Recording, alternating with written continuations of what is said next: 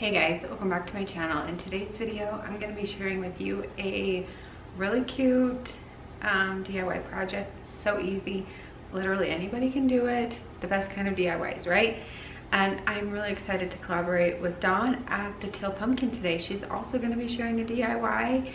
And what's fun is both of these combined would make a perfect um, pairing for your front door for Halloween. So I hope you enjoy it. Um, don't forget to go over and check her out. She'll be linked in the description box. And without further ado, let's get going. The only thing you're gonna need is a doormat. I got my blank one at Walmart. I think it was like under $7. And whatever kind of cookie cutter that you want. I bought these little sponge brushes too. I think that they're gonna be the easiest. And then just some paint. And all you're gonna do is we're gonna take these. I can't decide which one I wanna use.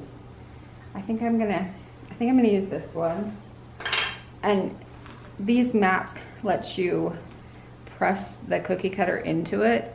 And so all you're gonna do is take your paint and paint the inside of it. And I'm just going to do the ghosts alone, but I think it would be cute if you mixed things together, maybe some pumpkins or something. But anyway, let's do this. I just wanted to share a couple little tricks with you. Um, as you do it, you learn things, and this was the very first time I've ever done this. So you do have to apply a bit of pressure onto the cookie cutter, even though it does kind of sit down inside of the mat, because this isn't like super tightly woven. Um, you will need to put a little bit of pressure on there. And then don't expect it to be completely opaque. No matter how much paint I put on, it just was never like solid white, which I didn't mind, but maybe somebody else would. But just a little tip for you there. You can see here, I try to go in and put more paint on top of it after I've pulled the cookie cutter off. But again, it just still would need a ton of paint. Maybe if you would have spray painted it, it would have been better.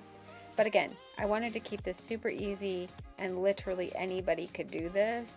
I recently saw that they have a, a doormat type even at the dollar store. So I wanted this to be super budget friendly and literally make anybody feel like they can do it because I hate when I see DIYs on YouTube or even TikTok or Instagram or anywhere like that.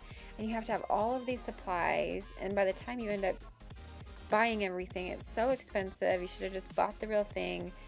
And um, not everybody has a Cricut machine and not everybody has a silhouette. So again I just want to make it easy and doable for everybody no matter what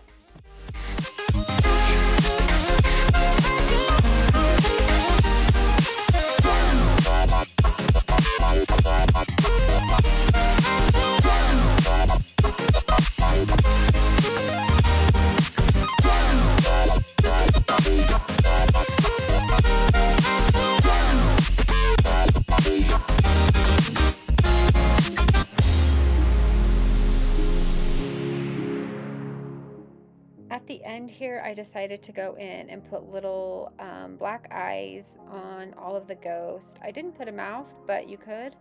And I again, I just wanted to keep it pretty easy and simple. Um, you do need a lot of paint, and I ran out of white paint, and so I ended up using uh, like a creamer paint. They weren't the exact same color, but once I got them on the mat, you really couldn't tell.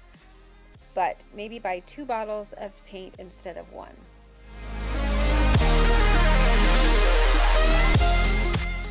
I go into these DIY projects not thinking that this is going to last a lifetime or I want it to really last a lifetime. I really like switching out my doormats every season or every holiday. So this will last me the next four weeks. It cost me under $10 and it's so cute. What do you guys think?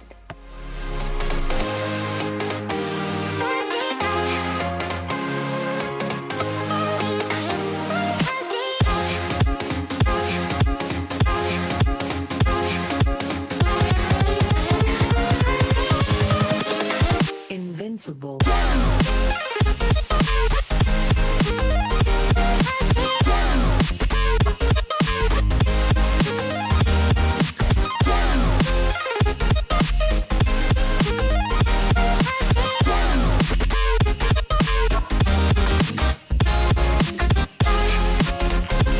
hope you guys enjoyed today's video. Don't forget to go check out Dawn's channel. I'll have it linked in the description box. Um, and check out her wreath. I'm sure it turned out so cute. And I hope that you'll subscribe if you're new here and give this video a thumbs up if you enjoyed it. And I'll catch you guys in my next video. Bye.